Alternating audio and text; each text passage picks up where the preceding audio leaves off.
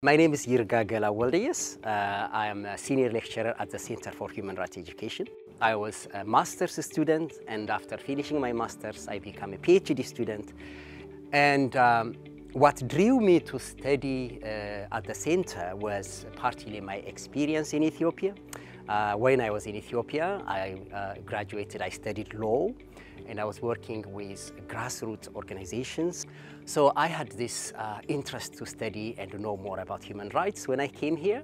And I started to acquire these um, uh, readings, these um, lectures and discussions that help me articulate uh, uh, the uh, important issue that really drive my further studies at the center. And they really helped me uh, continue to explore these uh, kind of um, critical questions about education.